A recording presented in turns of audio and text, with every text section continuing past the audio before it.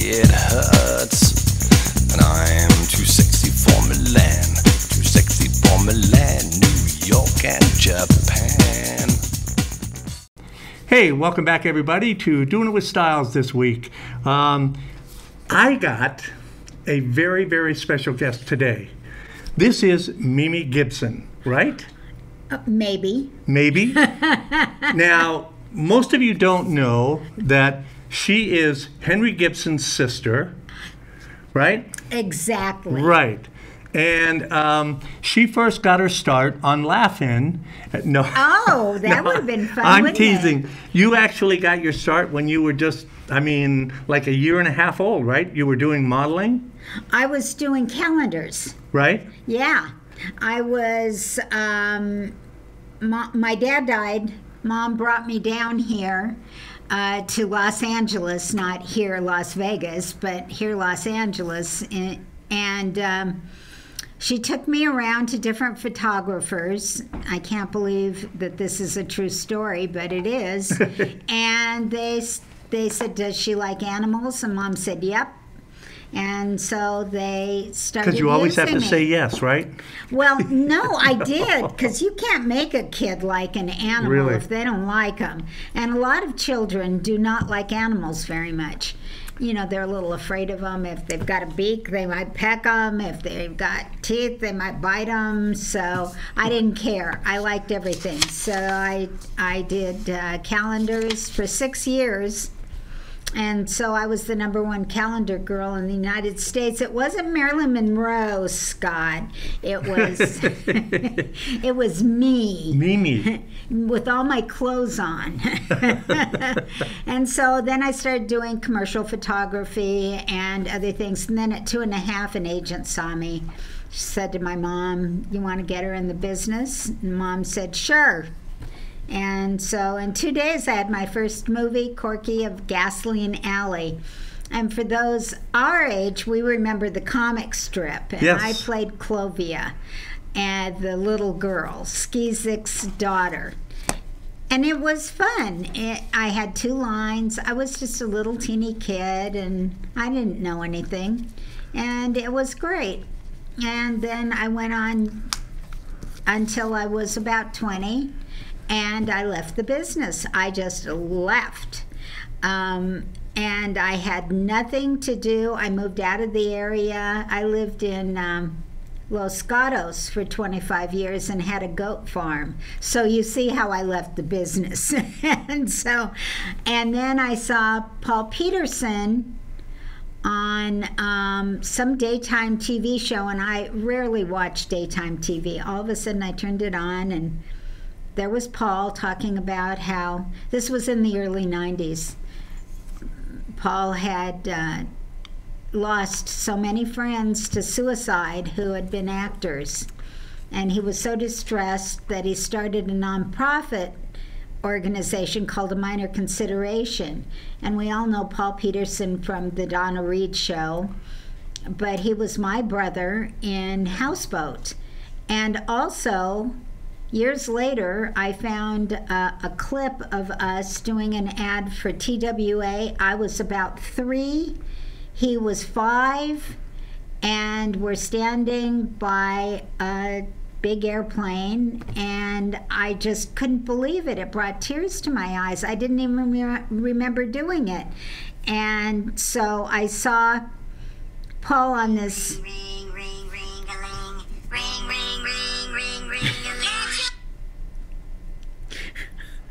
I tell them never to call me here, but they do anyway. These bill collectors are just, they're atrocious. Are they after you again? Yeah, I hear still. there's jail in your future. so, anyway, so I called Paul. We talked. He said, Mimi, we're going back into the union. We're going to try to change the Coogan law. Now, most people don't know what the I'm sorry, which law? Coogan law, Coogan. named for Jackie, Jackie Coogan? Coogan. Okay. He was um, a beautiful. If you looked at him when he was on the Addams Family playing Uncle Fester, you would have never known that he was this most gorgeous. What the hell? Get rid of that thing. I am. I'm talking here. And and and and what do I tell everybody? Every guest, is your phone off? yeah, left mine in the car. So, um, Well, that's because you're a professional. of, of, oh, of course. And uh, so when he was a little boy, he was in silent movies, and he was absolutely beautiful. What would uh, uh, the the? I'm trying to remember the the one that he played in. His his father was a fighter. Was it called the boxer? Oh, it was called the Champ. The champ. Yeah. Didn't he get? no, that was Jackie. Wasn't that Jackie Cooper? I think that was Jackie Cooper. Well, anyway. Anyway, We It was one of the. Jackies. Yeah, it was. It one of wasn't the- Jackie It was one of the cutie boy Jackies. Yeah. So um, he made millions of dollars during the beginning of the film industry, and his parents were like inviting every Tom, Dick, and Harry to come live with them, and distant cousins, and he was supporting everybody. And of course, when he grew up, there was no money there, and he sued his parents, and he got some some money, but not anything near what he had made.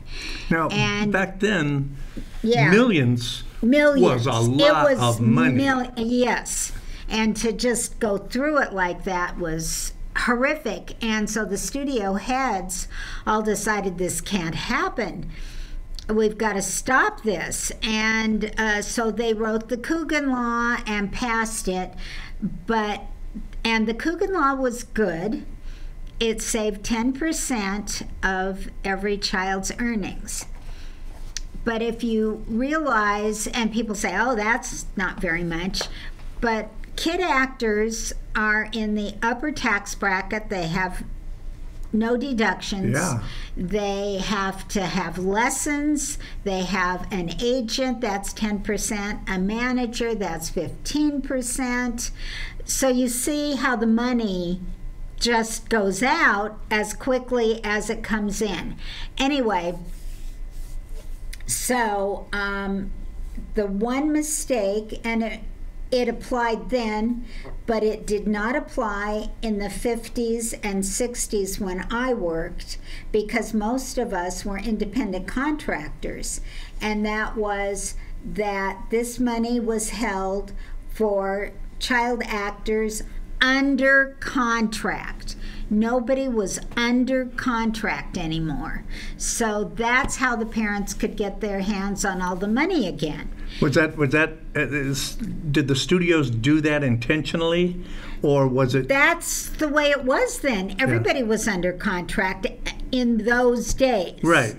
And then when it changed to independent, nobody changed the law. Gotcha. So that didn't apply anymore, and the parents were whole hog into, you know, let me see how fast I can spend the money. I, I must have hit the rainbow. so, uh, Paul was very disturbed about Rusty Hamer committing suicide and the many others who did, and set up a minor consideration to uh, to help transition kids that had difficulty becoming worthwhile adults because they had no value after they weren't kid actors anymore.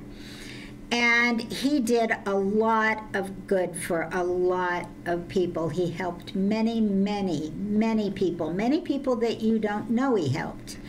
Um, and so when I called him, he said, Can you come and join the committee? And I said, I'm with you. I am absolutely, because I supported my family, no money was saved, and I wanted it saved for kids. And uh, at the time, both my kids had just become adults, and um, so I had my goat farm, but that was not going to stop me from doing something for the kids coming up. So I drove down from Los Gatos for uh, 10 years on the Young Performers Committee, and we all worked very hard. It was Paul Petersen, Jeannie Russell, Paul, me, and Johnny Whitaker. And Johnny was our secretary, and he was just a great secretary. Jeannie was our um, chair for a long time. And, and, and what was he in? He was in a TV series. Johnny Whitaker was in Family Affair. That's it. He was one of the twins. Right. And you know, Anissa Jones, she com- took pills. I don't know what she did, poor thing. And so that was very traumatic to him. So things, you know, things that happen in the business affect us, maybe not directly, but indirectly because you're working with kids that have problems. It's a brutal business, It is brutal. It's even for adults. yeah. So- yeah. Uh, you know, I say kid actors are the hardest working ones because we have to learn our lines. We have to uh, know our, our spot. We have to be on time. We have to act like adults, even though we're kids. And the adults, all they have to do is learn their lines, but we have to go to school. Yeah. We have to do our schoolwork. We have to do our homework at night. We have to do all this and and we have to please our parents and the director. So I think it's harder to be a kid actor than it is to be an adult actor. They've got to breeze. Well, the, the, the, because you don't know, uh, especially someone that started at your age, doesn't know anything different. right. That right. I mean, that's that's your that has been your whole world. right. Is that why you left the the business? Is that Well, I'll, I'll go into that in a minute. okay? Yeah, that's fine. Um, or I could go into it now. Um, I, I left because I was not getting the regular work that I got before. Right. And um, it just wasn't happening for me. And people would say to my face, We want new faces. And you know, if that if I have the old face, uh, we never were valued in England. You know, they have a whole other method of valuing people as they come up. We do not. We have. You, you said know, in England. In England. Yeah. Yeah. And so, you know, that would have been nice, but that didn't happen. And so I went on to sell real estate. so I sold real estate for about 15 years. And then my husband was, um, he was a, an independent contractor with NASA and was working on. Um, we moved up to the Bay Area and we lived in Los Gatos. He was working on the space station. And so I just stopped working and got a goat farm. And it was really fun. I loved having a goat farm. I had uh, pygmy goats. So that's why I left the business. But I came back for the kids. We all came back for the kids. And then Melissa Gilbert and Barry Gordon, he was president of the union for a while, and he helped really spearhead our two bills that we got passed. But we got two bills passed, and it took us eight years. Wow. Eight years of every month coming to Young Performers Committee meetings, and we we did an orientation. We'd we'd have a meeting, then we'd go to dinner, and then we'd do an orientation. And I swear that orientation was dynamite. We'd have ex kid actors show up. Melissa Gilbert showed up. All all sorts of people showed up. Talked about their lives. I was the rules and regulation people. I would. I, I told everybody about that. We had moms talk about being parents on the set, the good and the bad of it. We had uh, one of our members, she used herself as the bad parent. She's Liz Graham. She's one of the nicest people in the world, and she would never be Yeah, if that's the bad ones, God help you. yeah. and we'd all laugh when she'd talk about how she was so bad. and anyway, it was a great orientation we had, um, and now everything's on computers. And I mourn the loss of that because it really helped kids. It was good for the parents. It was wonderful. So is that still in effect today? It's just on, you know, it's on computers now. Okay. Everything's on computers. But I mean, are the kids still protected? So the kids, so we passed a law after in 2000, uh, and uh, we, I got to speak to the state legislature. Um, I done 34 movies, over you know a couple hundred TV shows, commercials. None of the money was saved for me, and so. Um, I I got to speak and and you know nobody impresses me but somebody who holds all of our lives in their hands our legislators Yes. That impressed me and so we got that passed and we also got a school bill passed and the school bill was kind of hilarious we hadn't realized why the public schools treated us so badly we didn't realize that if your butt's not in the seat They don't get paid. they get no money. Yeah. And so it's adversarial. And uh, so we got a, a bill passed that backed up onto, and Sheila Kuehl, who's a wonderful politician in Los Angeles, she carried our bill, and she was Zelda on Dobie Gillis, a wonderful ex actress. And uh, I loved her. loved her. She was just great.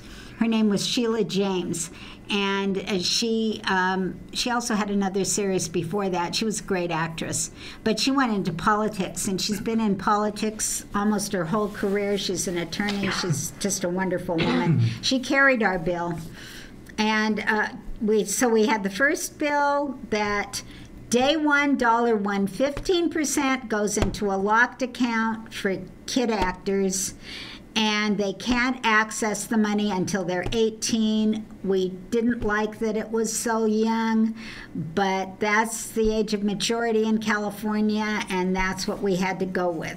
So we had that and um, then we had it was a Bracero bill that we piggybacked the school bill onto, where families with kids that picked every you know The during farm workers. seasons, yeah, Yeah, I remember the farm workers. Yeah.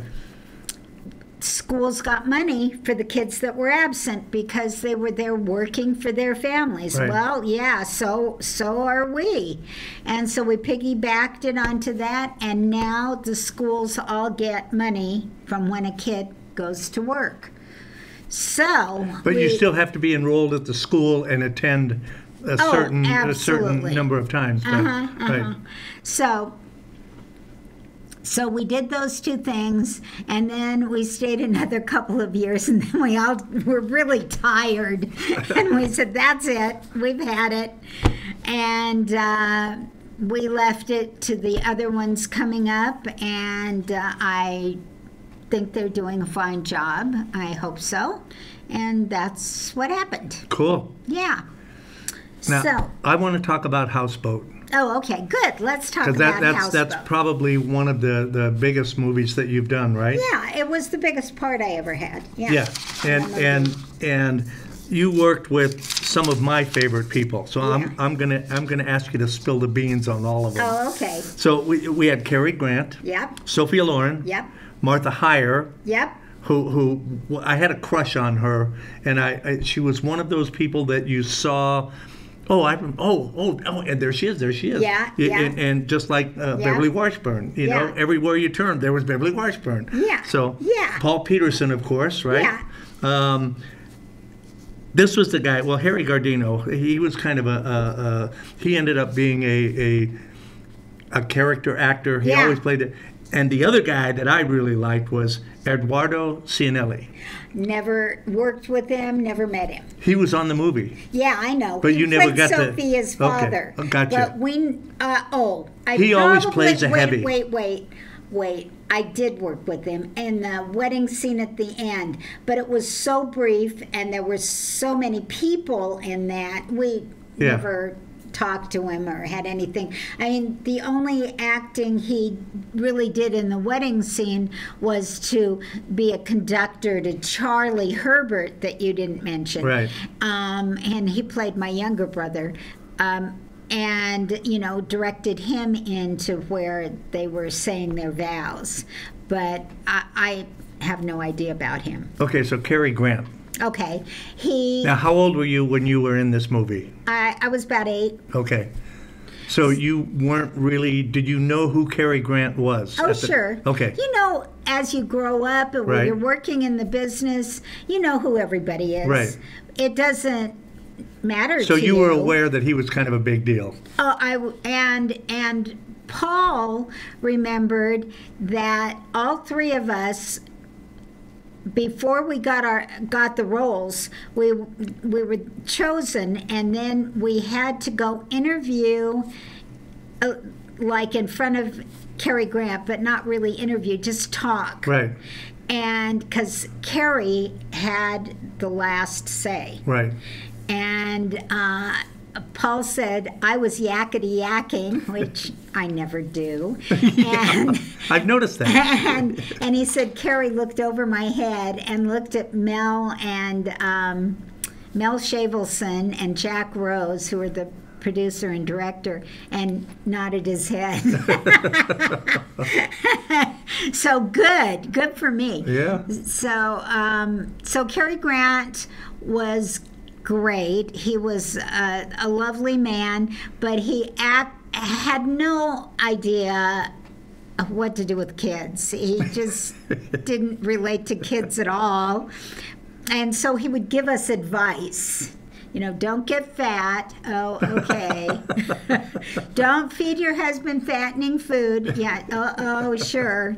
And, you know, you're little and you know that you're going to do whatever you want. You're Yeah. not going to do what he says. and it's like, oh, okay. And so he'd say things like that to us, and uh, that was that was what he he did, and he was nice. He didn't he didn't uh, he didn't have errors or anything like that. And then there was Sophia. I that that was my next one. So Tell us about her. wonderful, beautiful. You, you know, you talk about Martha Hyer. Martha Hyer was a gorgeous woman. Well, Sophie, I'm sorry, Sophia just knocked her out of the ballpark. Sophia was stunning. She was stunning. She was funny. She was personable. Uh, She was everything good, everything good. And we loved her. And she would sit with the moms. Nobody sits with the moms. and she would because she just, you know, she'd been brought up poor and she had her first birthday party she ever had in her life on that set, which Really? broke my heart. I, I just couldn't imagine it.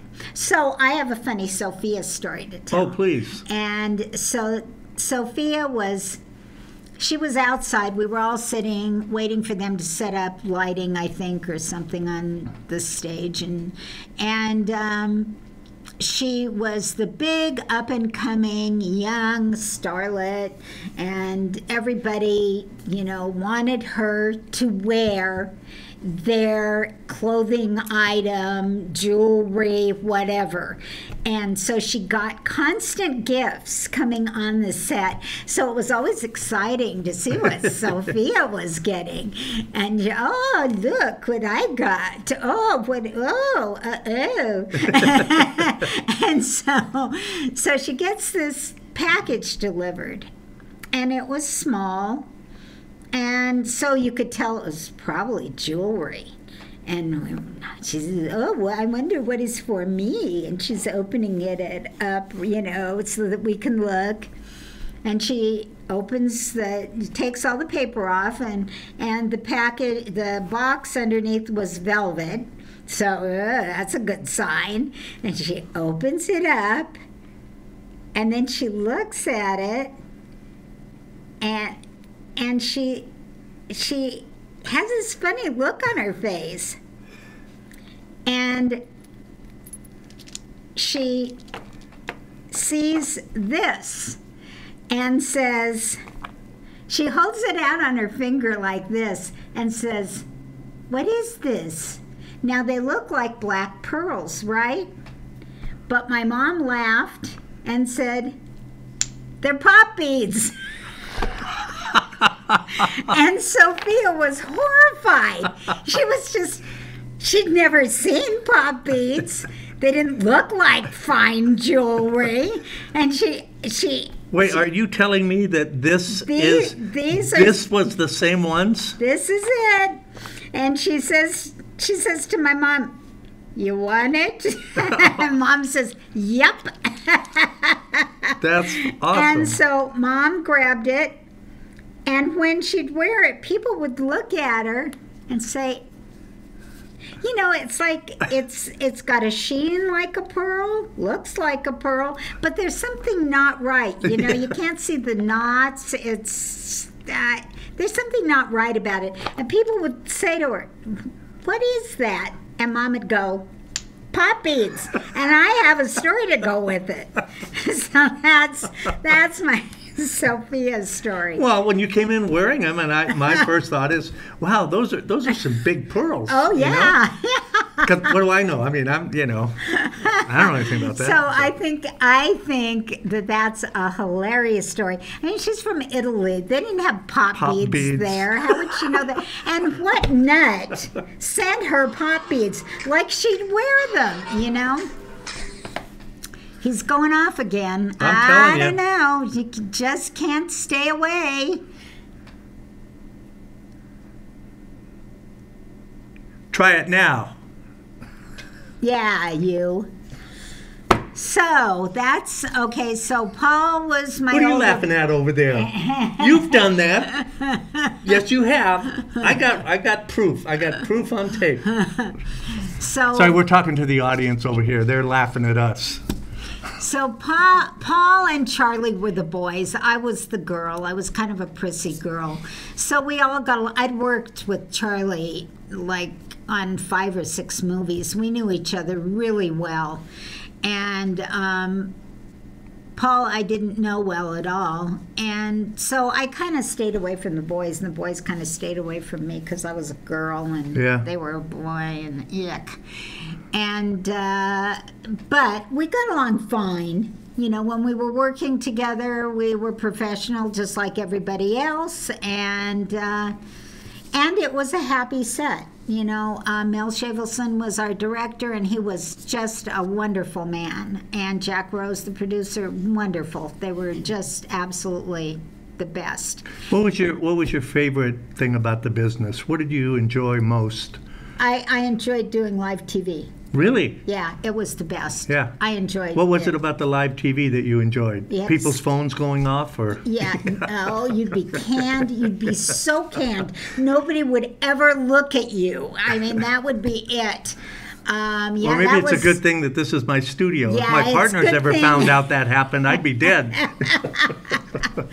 Um, you uh, you have to step up to the plate, Right. And you have to deliver. And if you don't, they don't hire you ever again. what was your What was your favorite live TV show that you appeared on? Oh, it was Days of Wine and Roses.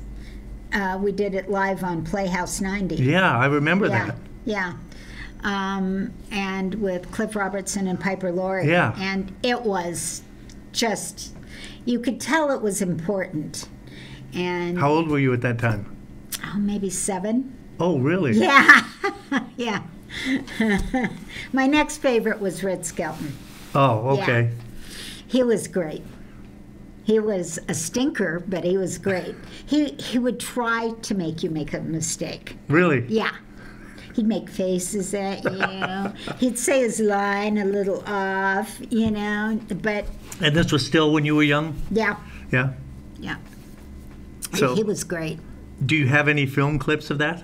Is there any film clips of I anything anywhere? I can't find if anybody can find I will look. Red Skelton I for will me. look. I have one Jack Benny. And it's very much like Beverly's. It's that the was, same I, I, thing. I'm telling you, that was a brilliant that was that was brilliant. Beverly's Yeah, Beverly's. Beverly's was brilliant. I, I've probably seen that a hundred times now, Yeah. and every once in a while I'll be going through the stuff and I'll stumble across that and I go, I got to watch that. Yeah. and it, it was It's just so cute. Yeah, she was such a perfect straight man Yeah. for Jack Benny, and, I did the same thing years later, but it was a slightly different. okay, I got to find and, that too. And not as uh, not as long as the one he did with now her. uh, Beverly had said that that Jack Benny was really great to work with. yeah, no. Did you enjoy it too? uh, n- uh, well, I, it was fine. Oh, we you mean were- he liked her better? He loved her and didn't like me, I guess. He he would come out. We'd he'd not talk to anybody. I did two Jack Bennies. He'd not talk to anybody. And I, and Beverly's telling me about how much you know they were close and he loved her. And it's like what? I can't what? Well, how many how many years after Beverly did her skit that, Oh, did you do yours? probably maybe five.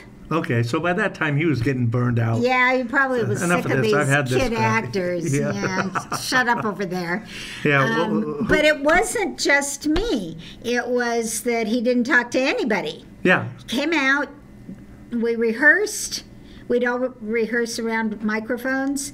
Uh, he'd rehearse. He'd say something to the director.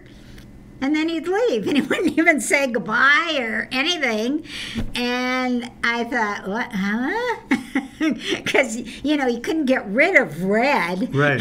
and, there, and I think weren't there stages? I think they were right next to each other, and it was like night and day.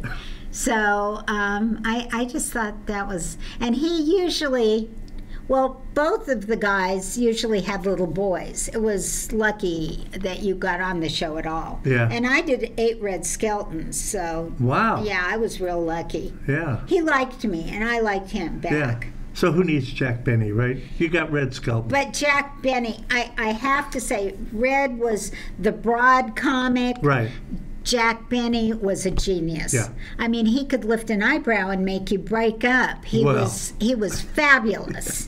he he was, and that he used himself as the joke. Uh, that was I always enjoyed that about him, It was. and and how he never got past thirty nine. Yeah, he never got, and he never got past that he was a penny pincher. Yep. And he never, you know, it was all about him and his his weirdness, and he developed that. And I was watching a movie on the Automat, the Automats in New York, and they were talking about Jack Benny had been on uh, doing i guess his radio show and he was such a big hit everybody loved him and he had a big party and he had it at the automat and all these stars were coming in and he was handing them rolls of nickels So That was Jack for, for, for those younger people who don't know what an automat is, an automat is the cafeteria version of Yeah. a vending machine. Yep. Right? yep You go in there and you put your, your money Yeah. in and you could get a sandwich, you could get pie, you could Yep. get coffee, all that yeah, good stuff. and it was great food. Yeah. It wasn't like vending machine food. Yeah, it, it- was actually It was good food, fresh. fresh, Yep. good food. Believe it or not. And um, I, I just mourn. I, I was in New York when I was a kid, and I got to go to a, a an automat once. And, I was and- born in New York. Oh, were you? Yeah, Long Island. Oh, Yeah. nice. So anyway, So, Yeah. do you have a favorite part that you played, or Yeah. something that, that that was that was it for you? What what part was yeah. that? Yeah, when you're a kid, you have you have kind of a bucket list. Yeah. Things that. Wait a second. I'm going to sneeze. Hold on. Bless you. It's been very, windy. very windy. I have that effect on women, folks. Oh my gosh. Oh, excuse me. Uh, That's okay. I I, can cut that out if I feel like it. It depends, it depends on how you do for the rest of the Yes, interview. then how nice I am. Yeah.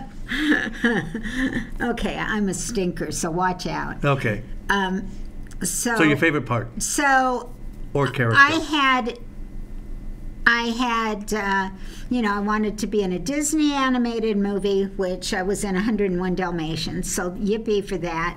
And Yeah, you did do a lot of voiceover, didn't you? yeah, I, I did a lot. And Especially for um, those women that they couldn't understand what they were saying, so they Yeah. had to come in and talk about it, right? is little girls? It's, it, it's talk like this, and, and then they go, "You have to do the whole movie," and it's like, "Oh, okay." and um, and I wanted to do Wagon Train, never got it. I wanted to do uh, Bonanza, never got that. Um, and I wanted to do the Twilight Zone. Well, I never got the Twilight Zone, but I got the second best thing, and that was a One Step Beyond. And my um, episode was um, the dead part of the house. And it's about a little girl who moves to San Francisco with her dad. Her mother has died, and they're living with her aunt.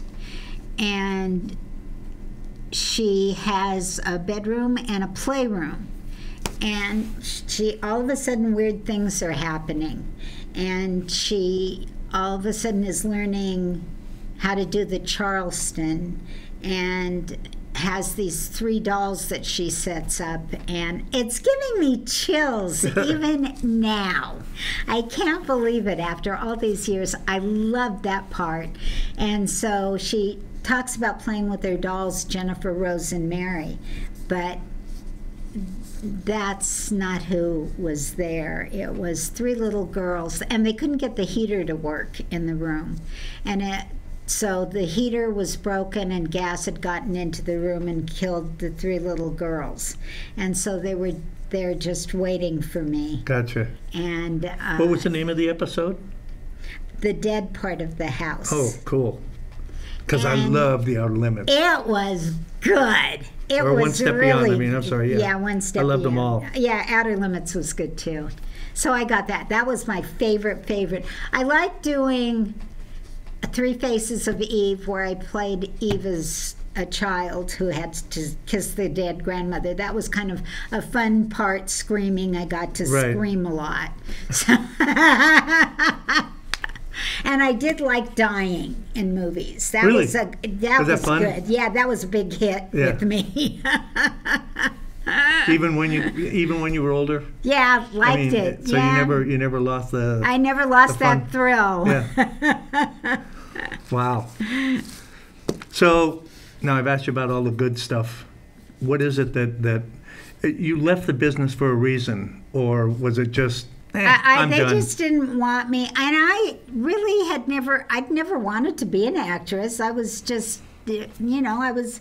That's what your mom said you were going to do. Yeah. Well, that's I got parts, so there we are. Yeah. And um, and I liked doing it, um, but I did not like interviews, and I I just was I just left. I got married, and I became a realtor.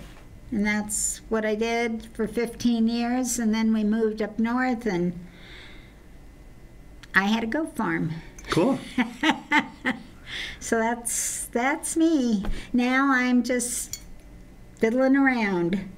So it's party and all so the time now. I wrote I wrote a book Yes, I wanted called to talk about Working the book. Kid. And so it's about it's about you know my career and it's a and it's about You're really good at this. Have you done this before? Oh, maybe. and it's about, um, uh, you know, Screen Actors Guild and what we achieved there. That that was important for me to talk about because there's so much abuse and and we we achieved something and that I, I'm very proud of. It's the thing I'm most proud of in my life. If I saw that book on the shelf, I would buy it immediately. Do you know why? Why? Because it's Sophia Loren's on the cover. and that's why she's on the cover. because we all said. Now that was some brilliant marketing. Was that your idea? Well, there were a bunch of us, Okay. all girls, by the way. Okay. And we all looked at it and looked at my stills and said, She's the one. She's it. And I said, Yeah, everybody, yep, that's, I think so too. no, that was brilliant marketing. Yeah. How long did it take you to write the book? Oh, it took me too long. You Yeah? know, it was very painful. More than a week? Oh God. And I, uh, my friend Liz Graham, who was the bad parent, she helped me write it and put it together. She's also an author. Oh, okay. And uh, if it wasn't for her, I, I'd probably still be floundering around with it because I'm not a writer. I'm a reader, but not a writer. Yeah. I love to read. And that's why I liked meeting Jayne Mansfield because she was. I walked. Uh, I was dragged over to her dressing room, and she answered the door, and she had a book in her hand and glasses on, and I thought. And she talked normally, which I was surprised, and, and so I thought, wow, this is a fabulous woman. Look at the character she does, Yeah, and here she's a reader. Yeah. That's- yeah, that's great. yeah. So we're, we're kind of getting close to the end here uh, of just the show. But uh, is there anything else you want to make sure that, oh, that sure. we talk about? There's a there's a little film that I just have a small part in that is now on YouTube. It's done by Anthony, a young filmmaker whom I just adore. And uh, it's called Miles and Mimi, and Miles is Miles Kreuger. And I'm not going to explain who Miles Kreuger is, but look him up. He is a very, very famous and well beloved man. And uh, it's a love story. And it, it is a darling little short film. And um, and it's entitled Miles and Mimi, Cool. and it's us, Cool. but we're not Uh, those it- people. We'll, we'll, if, if it's on YouTube, you say? on YouTube. Okay, Yeah. well then I will I will pull it off of YouTube Good. and I will attach it to this interview. So people, Perfect. if that's okay with you. it's okay with me, Okay, and good. it's okay with Anthony Booth too. Well, I thought it might be if Yeah. it's on YouTube. So Yeah. and, and and they'll tell me whether it's copyright and I can't use it anyway. So no, no, yeah. you can. that's awesome. Yeah. Good. I always Yeah. like those little treats like that. They're they're little jewels that you find. I don't care to be an actress again, but this I just couldn't resist. Yeah. Yeah. And it, you know, if it's something that you're having fun doing, Yeah. it's not work. You No. know, it's not a job. It's not. It was there's, there's sweet. hardly any effort involved in it. Yeah. So, anyway, okay. Well, I guess that. an- anything else we got? You did Oh, we forget probably, anything? uh, You know, I'm so old, I forgot probably half I got it. socks older than you. and and check this out. We just found earlier before the show, we went to high school together. Isn't that amazing? the same school in the same grade, and she was fortunate enough to never have run into me at that time. And he was fortunate enough to ignore me and think I was a dumb girl, probably. Oh no, I, yeah, I would not have ignored you. So, uh, because you were a little cutie. Uh, So anyway, um, yeah, I'm going to get in trouble here, so we should probably wrap this up. Um, thank you, right. everybody, for supporting the, the, the studio and the show. And uh, don't forget all the other great shows. And I would be amiss if I failed to mention What's Your Story with Judy Morio. And I say that because she's in the studio and would slap me upside the head if I didn't say something about it. Right? Right? Um, anyway, Judy has a, a great show here, uh, along with all the other shows. And uh, don't forget this Saturday at 10 a.m. I'll be doing the book signing over at Barnes and Noble. you wrote a book? No, but every Saturday I go over there, and if you buy a book in Borders, I will sign it for you on the way out. I have a little table set up, and so you Hey, know you can buy any book. do that You- yeah, you can you can buy any book, and, and I'll sign it for you. And there's no charge. Oh. There's no Well, charge. Beverly so- and I'll charge. Anyway, guys, thanks again for supporting the, the show and the studio. And um, you know where to get hold of us on WWDB TV. Uh, we're on Roku. We're on Facebook. We're on.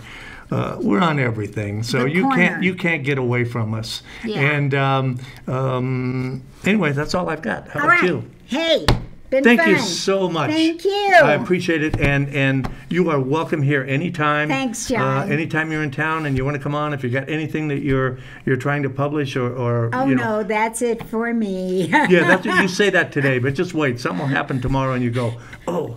Anyway, yeah, I'll publish all this solic- sol- soli- Silicious. Is that a right word? Silicious. Yeah, the silicious stuff. That- yeah. Okay. all right. Hey, and uh, thank you all again. And remember, if you're going to do it, do it with Stiles. Yeah. Nice work, John.